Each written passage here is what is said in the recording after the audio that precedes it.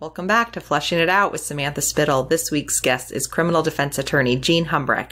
Jean and I sat down to talk about her new book, More Than a Fine. But what was really exciting is, of course, I had to dive in why she became a lawyer. And what was really interesting is she has the defense spin on it. And I think, um, as I mentioned in the podcast, so you'll hear me say this again, nowadays, you know, everyone loves the crime documentaries and whatnot. And I think though so many of us come from the other perspective.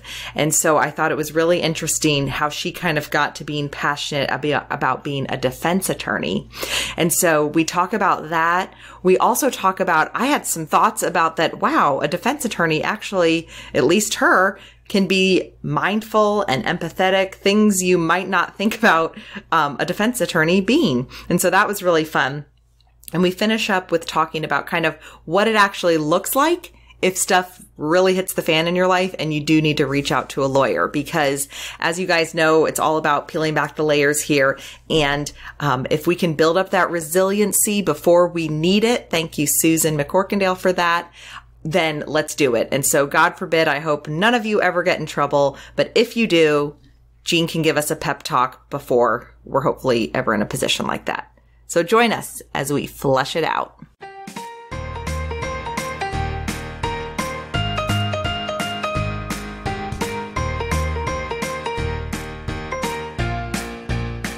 Coming to you from the M&M Exterior Studio in Nokesville, Virginia, this is Flushing It Out with Samantha Spittle, the introvert's extrovert. She talks to people so you don't have to. For now.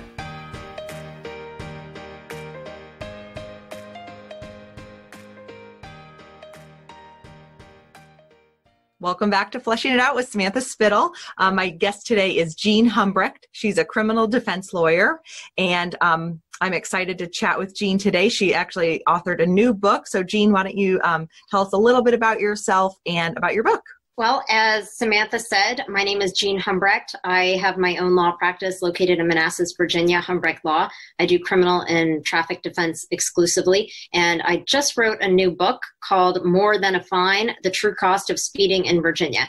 And in the book, I talk about all the different ways that speeding ticket convictions can affect your life.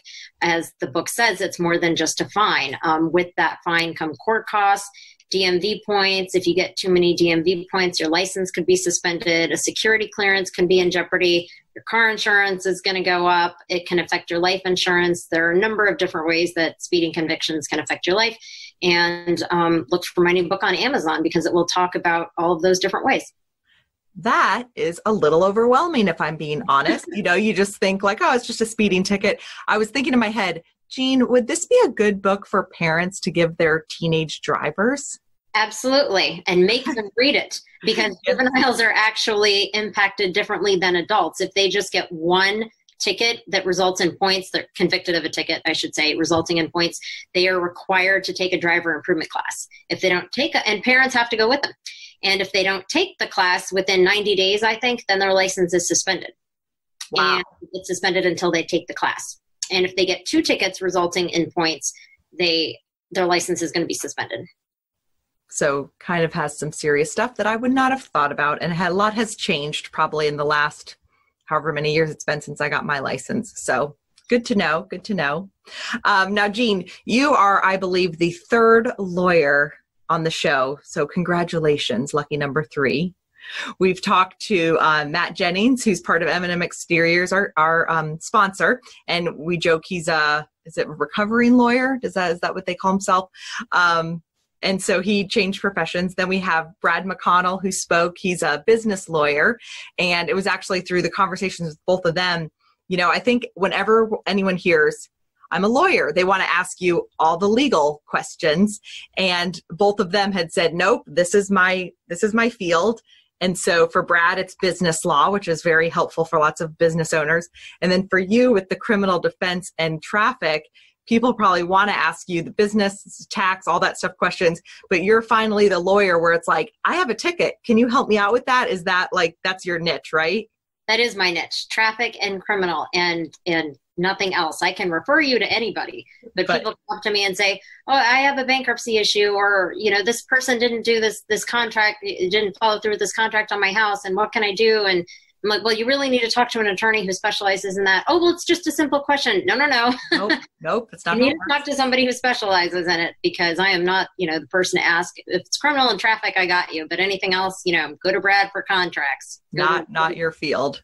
Now, I love chatting with lawyers because obviously here at Flushing It Out, it's all about kind of peeling back the layers and kind of going through those common life experiences and taking out those nuggets of wisdom. And what I love about lawyers is I think that there's just a different way of thinking. Brad, uh, Matt talked about the Socratic method mm-hmm. and how you know, and to to for if any listeners are not aware, you know, it's the whole kind of you you can clarify me on this, but it's like teaching yourself. You read and pull out stuff. So the teachers at the law school don't actually teach as much. You have to learn it on your own, mm-hmm. and then you mm-hmm. go and talk about it. And it takes a different type of thought process. And so that was interesting to me. And so I was talking with you before we recorded about kind of, you know, what made you want to be a lawyer? Because I think that, you know, people watch Law and Order and they're like, well, I want to go do that. And then when you actually get into it, for example, the Socratic method, you know, being taught like that, that just takes a whole other, I think, part of your brain. Mm-hmm. So, what kind of got you into wanting not only to be a lawyer, but then specifically the criminal and defense stuff? I wanted to be a lawyer for as long as I can remember, being five years old. And I don't know how that started. Uh, I, nobody in my family is a lawyer. I just always wanted to be a lawyer, always wanted to do criminal or criminal law, um, but not criminal defense specifically until I was in college. But always wanted to be a lawyer. My mom said it was because I like to argue. I disagree, of course. Of course, um, but that's right on par. So that that worked out well. Um, I like public speaking. I like I like being active. I don't like sitting behind a desk all day, you know, and and doing criminal law. You're in court every day, and it's always something different. And um, it just you always have to be prepared for something new. So you know that I didn't really learn until I started doing it. But just those those kind of things I I just really liked about it, and specifically criminal defense when I was in college, I think it was my sophomore year, I was taking a class on criminal law and I had to write a paper. I don't even remember what the required topic was, but I ended up writing a paper on the pretrial publicity in the Scott Peterson case. At the time, it seemed to me like he was being judged, as you would say, in the court of public opinion. I would hear these things on the news. That, and I thought, you know, one, why are they even saying that on the news? Two, they shouldn't be releasing evidence. Three, you're tainting the jury pool. I was just thinking, you know, he's not going to get a fair trial because I mean that occurred in California, and I was a high schooler here in Virginia, and mm-hmm. even I knew about it.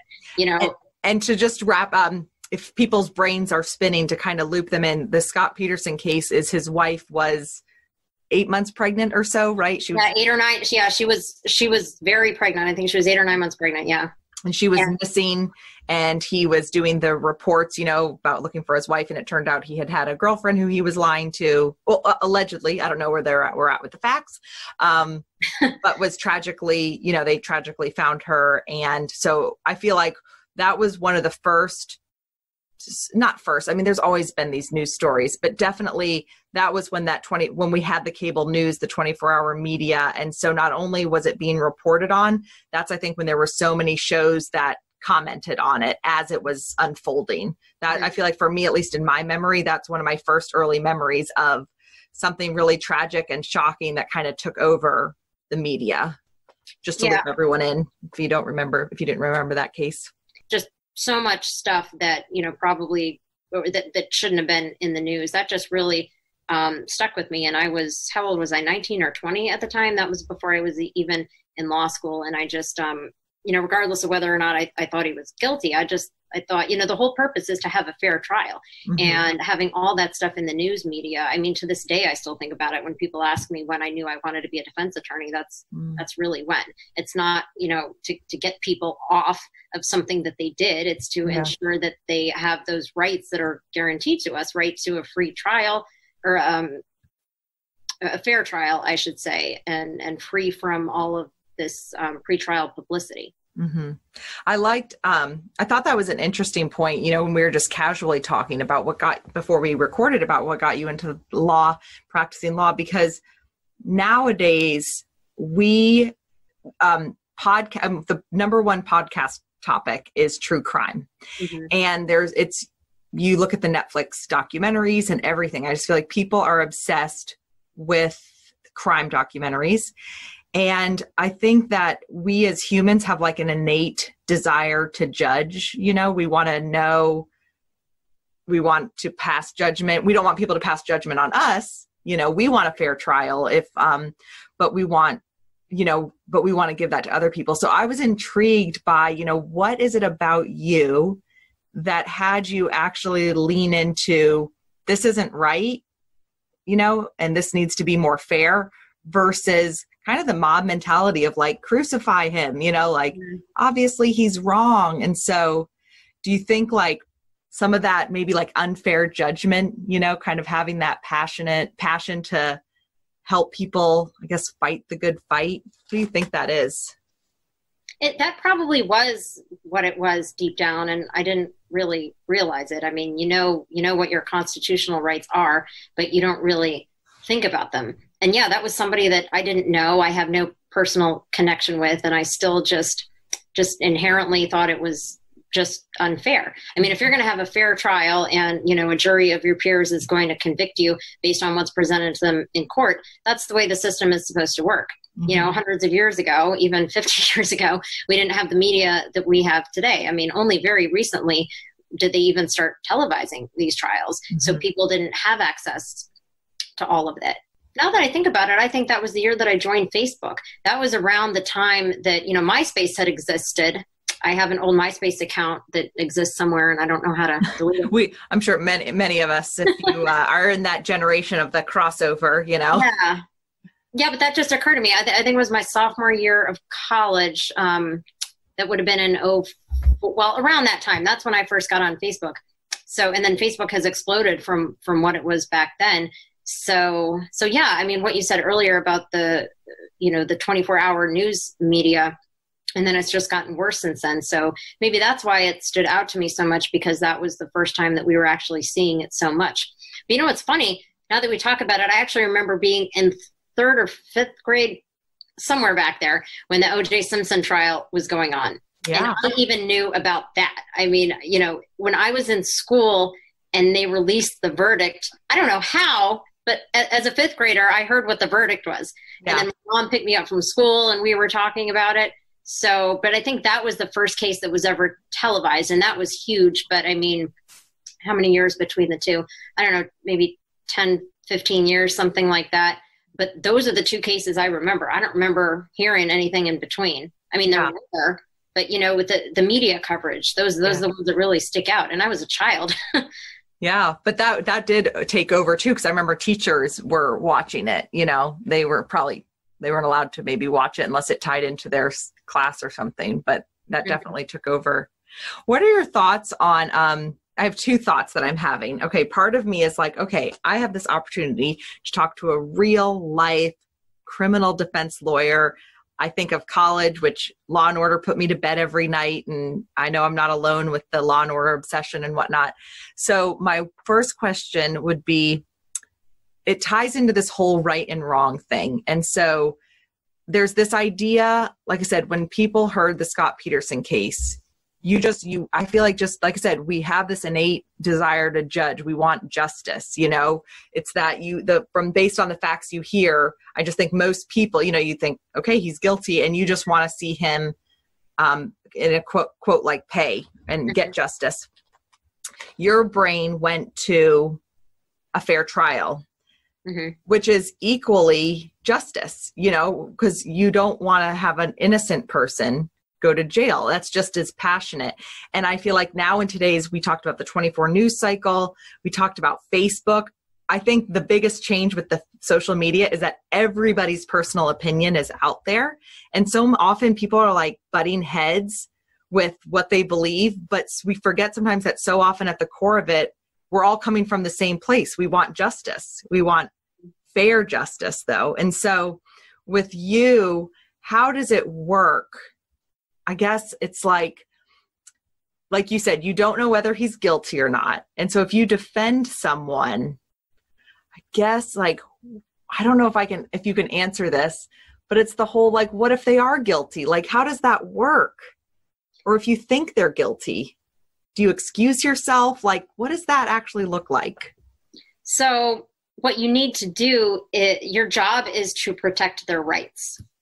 So, w- whether or not they are guilty, your job, back to what we were saying, is to make sure there's a fair trial. Mm. So, if you're going to a jury trial, that jury should only know what legally is is allowed to be in front of them. The evidence that should be included based on the law should come in. The evidence that should not come in should not come in. And then, based on the uh, the decision of twelve of your peers after being instructed by the court, they make the decision. And your job as the defense attorney is to make sure that your client's rights are being protected, all of their rights. It's kind of it reminds me of listening to that it reminds me of being in school. And i remember being asked um, i'm sure it was in like a history or some type of uh, social studies class should certain groups be allowed to march in parades? And i think the example used at the time was like the kkk and you know being younger that just was like well no obviously not it's a hate group to my beliefs hate group no it should not be allowed to march duh that was a no brainer. And I remember the teacher saying, well, because we're in America and the way freedom of speech works and whatnot, that if you like, you know, legally allowing them because to legally allow others. And I just remember my mind being blown. Like that was one of those monumental things that it did not make sense. Like what they're, what I believe what they're doing is wrong. Mm-hmm but how do you um, allow this? So I just remember I could feel like that was part of my my personal process of the layers starting to get peeled back of like, uh, this is not black and white. And so um, back to law and with what you do, you know, you have, like I said, we have this obsession with true crime. And I think it's fascinating to get to peel back the layers because everyone wants to like I said, serve the justice. And so, what are your thoughts on like the true crime podcast and everyone wanting to weigh in on all of this stuff? Because, like I said, you go back to, I need to protect the rights because I feel like that goes back to the whole freedom of speech thing where it's like, if we mm-hmm. get too caught up in like vigilante justice, mm-hmm. forget about the innocent people that could, that get caught up with that. So, I don't know if that all makes sense, but kind of just tying into this whole true crime culture. Like, what are your thoughts on all that? I'm into it too. I mean, I watch these documentaries on Netflix and I think they're fascinating. I, I mean, I, I, and I've got my own opinion. Some are better than others. My husband eventually gets tired of it because every, I'm like, oh, let's watch another murder mystery. um, it's interesting to me to see the different perspectives. Um, and like I said, some I agree with and, and some I don't, but it's, it's still interesting to see, you know, what happened in this case. And sometimes they're not, you know, they, they show very little, um, very little compared to what actually went on. Um, but, but then again, like that's just my analytical mind looking at it and saying, why did they talk about this? And they should have talked more about that. And they shouldn't have talked about that at all. But I even am intrigued by them. So, um, yeah, and I don't, um, I don't know what it is. I don't know how that started. I don't know if it started because of some of these these trials that got so much media attention. You know, I mean, yeah, I know true crime pro- uh, podcasts are the, the the biggest proportion of podcasts that are that are out there. I don't actually listen to too many of those, but I do watch the documentaries yeah. on TV. Um, do you have any thoughts that you'd be willing to share about any of the popular documentaries that are out? About any takeaways? Is there any common themes or opinions that make you want to raise your fist. I know I brought up to you. Can't remember if Matt's conversation if it made it to air, but we talked about in this. I think there was actually a documentary on it. The um the McDonald's hot coffee incident. Like that was one of those things I just brought up nonchalantly, and all of a sudden it was like there was a lot of passion behind it. So is there anything that kind of brings up that passion for you that you feel comfortable talking about? Well, first of all, that case infuriates me. See, another one. Why? reasons, and that's not even what I do. I can't claim to be an expert on it. I don't know all the details about that particular case. But for me, I just I I thought that I thought that the jury so so what happened is the jury awarded an amount of money and then the judge later came back and reduced that amount. They um they awarded an amount that I thought was was just too high. Again, and and this actually kind of goes to your question, right? Because I don't know all the details in the case. All I know is what I saw in the media. But yeah. from, from what I saw, that that person you know was not completely innocent and did something that they they shouldn't have been doing right so i mean coffee coffee is supposed to be hot that's just you know and you got to be careful with it and so but that that's all i'll say about that um so but in terms of in terms of takeaway for i don't know if matt had the same opinion. I, I he did not because what he was saying gosh i can't remember if this was on air and i feel like i'd want to check before but it was like the coffee was hotter than it should have been and that mcdonald's knew about it because to keep it you know uh, i forget there was a reason behind it but that they knew it was hotter than it should be. And you know there were some other reasons that weren't in the media and things like that. And so i just okay. thought that was fascinating but it but it, goes back to the whole like how much information you have depends on what your judgment is like that's actually a perfect example of you kind of look at when there are these documentaries or when the media what they choose to share versus what they don't like mm-hmm. i just feel like the more you start peeling back these layers it i just feel like it points us back as people to how we judge people because we feel vindicated like we feel right we want to feel right you know with our judgment and yeah.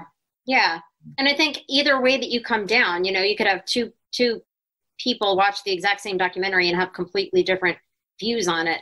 Um, so while in some ways it, it's good that that it's out there for people to see, I mean, but maybe it also just does add fuel to the fire of the court of public opinion and and judging people. You know, I don't know. That's that's an interesting thought. Yeah. Well, like I said, I am a law and order. You know, I was an active law and order. I used to joke I wanted to go to law school. I as well am pretty love hashing things out. Um, but then I also I now that I've had so many lawyer friends either here on the podcast that I've talked to, I had a friend that just went back to law school. Now I'm like, oh, I think I overestimated my confidence. Like, the confident part of me, like, I'm sure I could have done it, but like, wow, that's a lot of work. that's a lot of thinking outside the box. With the clients you've worked with, because I know you know you are a traffic defense lawyer and whatnot, defending clients and having to look out for their rights. I don't know if you've ever thought, but as I was listening to, I thought picking your brain is interesting because I don't know if mindfulness is something you've ever like that they talk to lawyers about. But you know, mindfulness is kind of like taking away judgment and just experiencing stuff. And I wonder if that is kind of part of what you do with your clients because you kind of remove the judgment and just look at what's going on. Mm-hmm. Yeah, I, I didn't really think about it that way, but yeah, that's that's exactly it because every, I mean everybody makes mistakes, but you don't even you don't even look at it that way. I mean, like that's not the way that you look at the case. You look at everything that was going on, like at the time of whatever happened, but also you know in their life and you know what happened to lead up to this and what are the consequences going to be for this particular person because they're all different like like that speeding ticket book that i just mentioned i mean you know somebody that has a security clearance or somebody that's required to drive as part of their job duties is going to be affected a lot differently than somebody else. That doesn't mean, you know, just blow it off, but, you know, be aware of, you know, everybody's individual situation, mindful, like you said.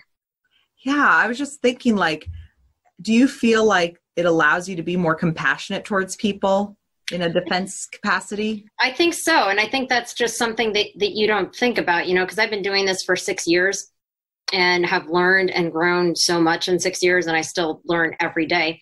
But you know the way that i am now versus six years ago i'm sure is is totally different. So i i think that it does change the way that you you know view everything. You view other people that you interact with. Um just just for example like you could be out and someone could be rude to you and even though you take i mean you're you're hurt. I mean they might say something that's very hurtful.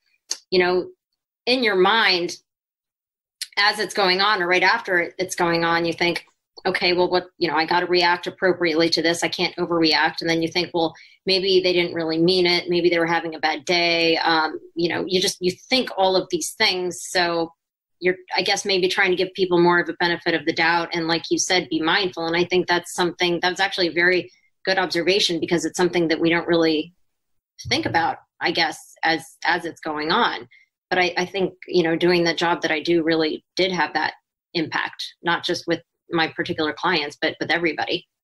Well, because you think I was thinking about with what you do, um, and it reminds me of financial planners, accountants, you know, basic uh, doctors. It's the people who we can try to put on a, a face. You know, look at me, I'm professional, I'm a good person. But you know, if you get into, if you make a mistake, which spoiler alert, we are all capable of making a mistake, and we're all, I mean, like.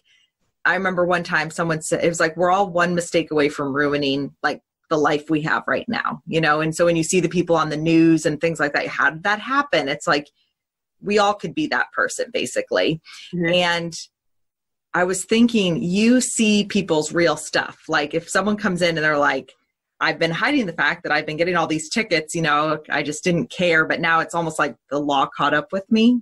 Mm-hmm but I and so I, I, related it to finances and things like that because I've talked to people, you know, um, like an accountant, and been like, I have not been, you know, keeping track of stuff the way I should be, and I just feel like I'm failing as a person. And they meet me with empathy and compassion because what I with shame and everything, and what we talk a lot here about on Flushing It Out, it's like when people start revealing their real stuff, whether it's personal, professional, the best thing we can give people is empathy and compassion. Mm-hmm. And I feel like with if you are a defense lawyer, you are literally dealing with people that have some serious stuff.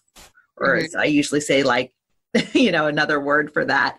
And they're laying their stuff out there. And so I would imagine you've been able to practice that muscle of providing that empathy and compassion because you've seen it, you've seen more stuff, and you can actually give that as a gift to your clients that I wouldn't have thought about before we started talking. But like I said, you've practiced that. And so I would imagine you're able to kind of do that for other people too. Yeah. Yeah. I, I think you're right. And that's something that I didn't really think about before we had this conversation. So, so when someone's facing a traffic or criminal charge, um, most people to them, it's, it, it is the most and, and not even to them it, it is the most important thing going on in their life. And and they it's it's all they think about 24 hours a day. Because they're you know they're i come at it from a different perspective obviously. They're they're scared. Uh, they don't know the court process. They don't know what's going to happen. So having somebody that can you know walk you through it i think is very important. Because me like like anybody in their job you know you do it every day and and you know so it's you have to also be mindful like you said that the person that you're interacting with whether it's a traffic ticket or a serious felony charge they don't they don't know what to do. They don't know what the process is and they're scared that the worst is is going to happen and you do have to prepare them for the worst. But at the same time you know reassure them and and help them through the process and help them do what they need to do to best prepare for it. And that's something that definitely comes with time yeah yeah so if someone's facing, you know, like I said, they've got this shame because it could be something seemingly trivial, like a ticket they got, mm-hmm. or it could be like you said, some really heavy, big stuff.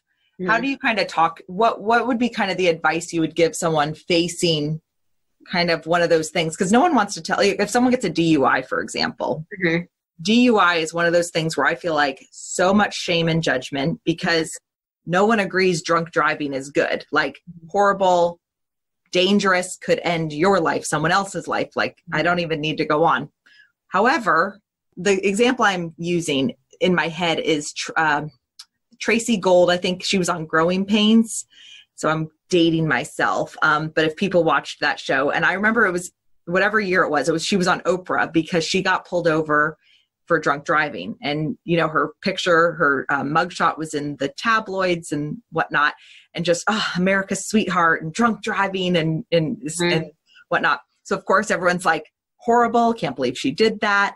I remember her being on Oprah and watching it, and she was saying that her and her husband and her kids were at a barbecue with friends and they had had some beverages and that she had had less than her husband and so she drove and hindsight 2020 she shouldn't have driven but she didn't feel at all drunk and didn't feel unsafe. And it was one of those, she was at that limit. And of course, the safe choice is to not drink and drive at all. If you're going to have any beverage, don't drive. I mean, that those are, that's the, I feel like, obvious advice, but people don't always, but that's also not reality. A lot of the times people drink a couple drinks and drive home. And so, anyway, my point is, that was another one of those aha turning points for me where I remember seeing her judging her, even if it was subconsciously.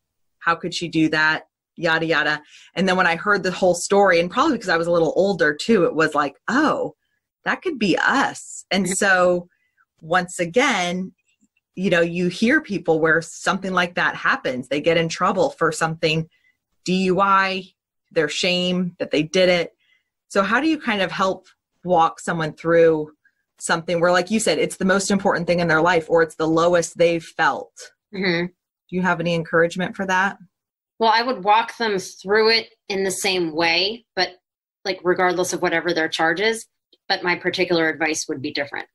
So tell them, you know, what you're facing, ask, you know, what happened, what are the police going to tell me happened because so I mostly practice in Prince William County, and in Prince William County, um, all the officers have body cams. Hmm. So whatever happened, I you know I tell them now because this started in about 2017. So I went through I went through the time before we had them and when they just started, and now when almost everybody has them, at least in this county. Um, so I say, you know, I'm I'm going to see what happens. So tell tell me what what am I going to see on these cameras? So I say, you know, find, what happened, and then I give them what I think is a realistic assessment of you know, can they prove it? Can they not? Um, do we have a good case? Do we not? What type of, you know, offer are we likely to get? What can you live with as a result? You know, what's what's your job situation? What's your family situation? Can you do any jail time? Because if you're looking at a serious felony, I mean, there's there's going to be if you're charged with any crime, you need to be prepared for jail. So I tell people what the consequences are of the particular offense, what I think would be a likely outcome, and how to prepare for that, whether that's a speeding ticket or whether it's a serious felony. And there's different ways that you can prepare for it. If it's something that involves, you know, alcohol and drugs, if you're not in treatment, you can go to treatment. If it's a driving related thing, you can take driving classes. I mean, there there are a variety of of things that you can do before court to get in the best possible position. And and that best possible position depends on what your particular circumstances are. So it's just it just depends on what your particular situation is. But the process is the same. Yeah. I'm encouraged by that and um I the reason I say I'm encouraged by that is because a common theme that I've heard, not related to this, but just with the whole idea of the human condition, sharing our stuff and things like that, is that that this isn't the end. Whatever you're facing is not the end of the story. Mm-hmm. So someone when they meet you or right now even just listening because a big part of i feel like what i want to do for people is provide other people's stories or expertise knowledge and things like that like for example with talking to you because if ever the stuff hits the fan in your life like if you ever are facing something like this that it's not the end of the story that even if it feels so bad just hearing you talk through like well we might be able to do this and we might be able to do this that there's ways to come out of a situation. And just too i feel like the more life you see even if it were to end that job there could be another job. Like that this is always not the end of the story that there's always hope i guess without even sound i didn't even mean to sound too pollyanna but like stuff that feels life ending to us mm-hmm. sometimes it's just when you talk to someone who deals with this all the time, it's like, oh, yeah, this isn't the end of the story. There are other ways to get through it. Mm-hmm. I think that's really helpful. Um, you know, as we are starting to wrap it up, and they talk about the legal system and whatnot, that it's um, people are treated differently in court, you know. That's so I don't know what where you would comment on that, but it seems like, you know, to use a common term right now, with things that are not legal. There's the whole cancel culture, which is like if you do something wrong in the court of public opinion, even just, you know, that people just want to cancel and get rid of you. And I feel like in the in the legal world, because it goes back to our judgment, the way we judge people, we want right and wrong. We want to be able to, if someone does something wrong, to be like, they need to pay. Mm-hmm. And it kind of, there's this kind of, well, what about second chances? What about people learning from their mistakes? You know, not wanting someone's mistake to be life ending for them and their family. Yeah. You know, I know that there's like people treated differently based on their life circumstances, whether race, gender, things like that. Um, what are your thoughts? Just, I mean, like I said, that's like opening up a whole other can of worms. But it seems like, you know, with you wanting to work with clients, it's working with the specific person. So, I feel like you probably have a very passionate heart with wanting to treat people fairly. Mm-hmm. And that that's what I think is really intriguing about a defense lawyer. Because like I said, we all want to like I think everyone wants to be the prosecutor. You know, if you're like playing pretend, you want to be the prosecutor to like get them to pay. But I just think as your empathy and compassion grows and you think of people and more of their situations, you really like want to help people. And so I guess that's my point is as I was listening to you, it's that really wanting to look at people as individuals and help them and not not kind of have what is it like the um blanket? Like if you get a, if in trouble for doing this this is the punishment. Mm-hmm. like that's too black and white. It doesn't it doesn't work like that. So right. yeah no it's definitely not not black and white at all.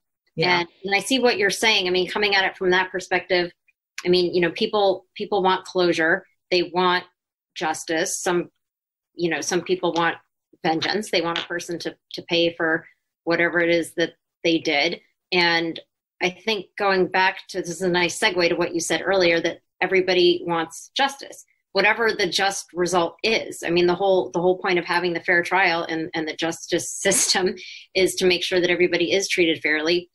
And at the end of the day, the result is is the fair result. You know, whether that's a jury, um, you know, acquitting somebody or a jury, you know, convicting them of what they're charged with, or anything in the middle. Mm-hmm. So, final question if someone's listening to this and they get in trouble, should they call you? Absolutely. call a defense lawyer before it, anybody else. You need to talk to an attorney.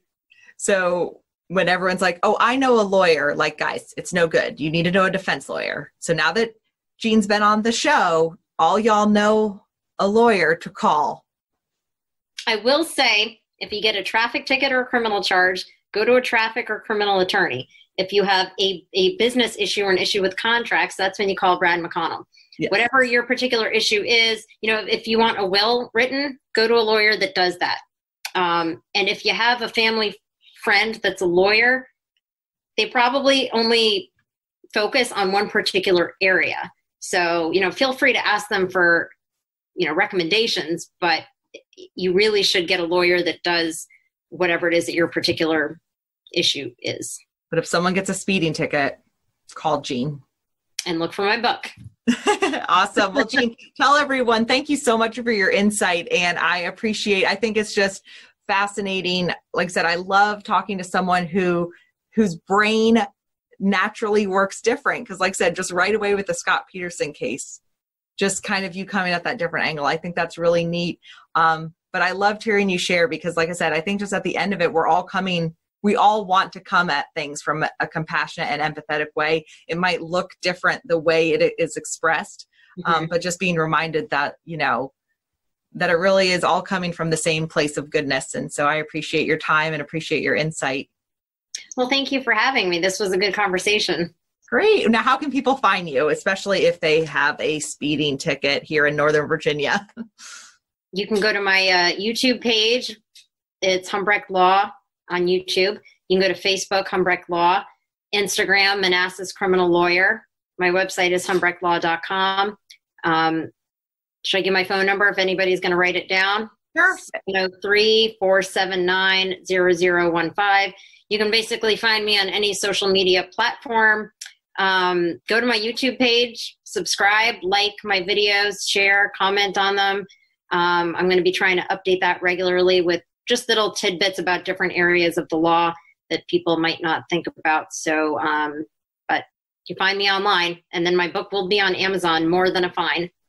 More than a fine. Well, thank you, Jean, so much for your time. Um, love chatting with you. And like I said, check out her book, More Than a Fine. All right. Thanks.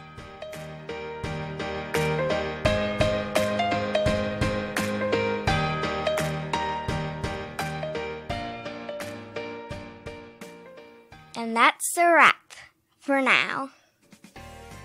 Thanks for listening to Flushing It Out with Samantha Spittle. Music provided by twinmusicom.org. Song titled Night at the Dance Hall. Sound editing by me, Jeremy Spittle. A special thanks to our studio sponsor, M&M Exteriors. Visit their website at mmexteriors.com for all of your roofing, siding, and gutter needs in the Northern Virginia area. Visit our website at flushingitout.com and be sure to subscribe. This has been a Spitfire production. That was the greatest thing I've ever heard.